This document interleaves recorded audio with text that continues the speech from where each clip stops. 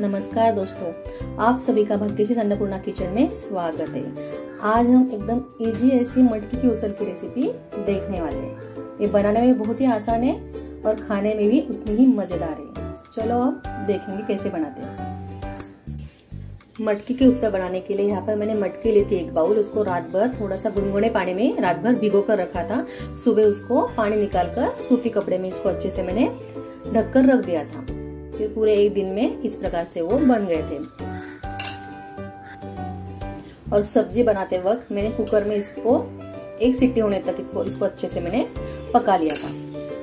देखिए, इस प्रकार से अच्छे से पका लिया। अभी मटकी की उसे बनाने के लिए मैंने यहाँ पर एक टोमेटो लिया है, प्याज लिया है, धनिया लिया है, बारीक कटा हुआ, कड़ी पत्ता लिया है, सिंगदाना लिया है, राई जीरा, हींग यहाँ पर मैंने मिसल मसाला लिया है यहाँ पर। यहाँ पर धना जीरा पाउडर, हल्दी और यहाँ पर मैंने अदरक, लहसुन और लाल मिर्च पाउडर को मैंने अच्छे से इसका पेस्ट बना लिया है।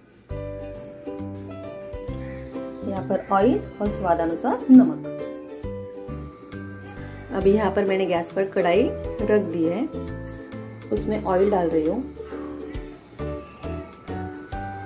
ऑयल को अच्छे से गर्म होने देना है। अभी यहाँ पर अच्छे से ऑयल गर्म हो चुका है। अभी राई और जीरा में यहाँ पर डाल रही हूँ। इसको अच्छे से फूटने देना है। मटकी की उसल अलग अलग प्रकार से सभी लोग बनाते हैं। हर एक का अलग अलग अपना अपना तरीका होता है। अभी यहीं पे थोड़ा सा हिंग डाल दूँगी। यहाँ पर भी सिंगाना डाल रही हूँ। इनको अच्छे से क्रेंचीनेस आने क्रंचीनेस आने तक इसको अच्छे से भी भून लेंगे हम लोग। यहाँ पर कड़ी लीव डाल देंगे।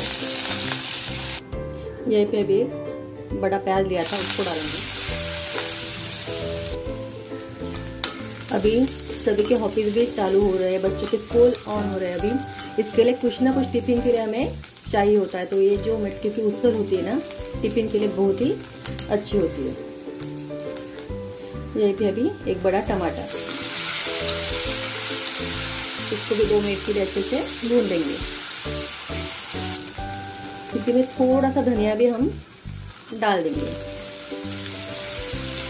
ऐसा भुना हुआ जो धनिया होता है ना, उसका टेस्ट सब्ज़ी में अच्छा आता है। हर एक सब्ज़ी में भी हम लोग डालेंगे ना तो भी उसका टेस्ट अच्छा आता है। इसके लिए अगर डाल देंगे तो अच्छा है। थोड़ा डाल दिया इसके लिए मैंने।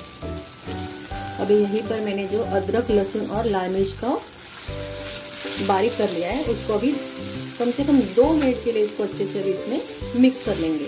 उससे क्या होता है, जो कच्चापन होता है ना, लहसुन का, वो निकल जाता है। इसके लिए अभी अच्छे से इसको दो मिनट के लिए अच्छे से भून लेंगे।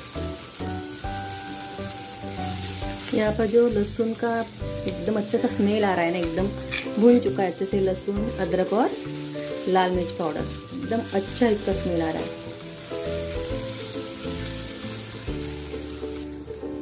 अभी यहाँ पर हल्दी पाउडर, धनिया जीरा पाउडर और जो मैंने मिसल का मसाला लिया है ना, वो मैं यहाँ पर डाल रही हूँ। मिसल का मसाला हमें किसी भी दुकान में मिल जाता है। अभी इन तीनों को इसमें अभी मिक्स कर देंगे। इसमें हम अपने हिसाब से कम ज़्यादा हर एक चीज़ कर सकते हैं।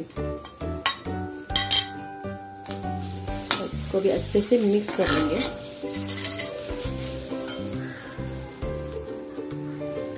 ये भी अच्छे से मिक्स हो चुका है। अभी यहाँ पर जो मटके को मैंने एक एक सीट आने तक उबाला था, अच्छे से। देखो कितनी अच्छे से अभी स्मेल भी हो रहा है। इसमें थोड़ा सा मैंने पानी भी रहने दिया ये सूखी सब्ज़ी बनाने वाली ऊपर लाइटली अगर पानी होगा ना सूखी सब्ज़ी में थोड़ा सा तो वो अच्छा लगता है। यानी पूरा सूखा भी नहीं होता है और पूरा सब्ज़ी भी नहीं होती है। एकदम अच्छा लगता है इसे। एकदम थोड़ा सा इसमें पानी अगर रहेगा ना, हम जब कुकर में एक सीटी लगाते हैं ना, तब थोड़ा सा आधा ग्लास अगर पानी उसमें डाल देंगे ना, अगर वही पानी इसमें डालेंगे ना तो इस सब्ज़ी को उस पानी का स्वाद दुगना कर देता है। इसमें अभी स्वादानुसार नमक डाल देंगे।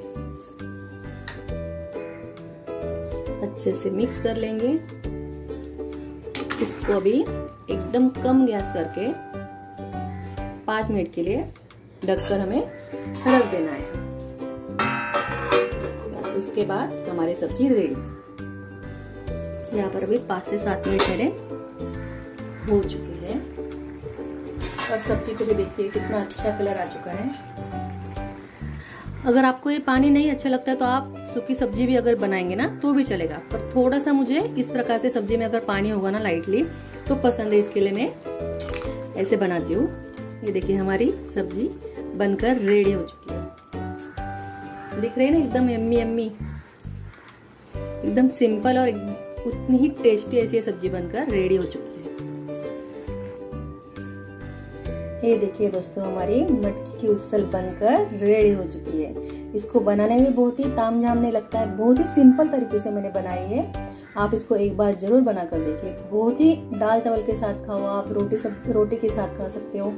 ये बहुत ही यम्मी लगती है। आप इसको एक बार इस प्रकार से ज़रूर बना कर देखिए। आपको बहुत अच्छा लगेगा। आपको अगर मेरा वीडियो पसंद आया तो इसको लाइक शेयर और सब्सक्राइब ज़रूर कीजिए और बेल आइकन को दबाना ना भूलिए। धन्यवाद।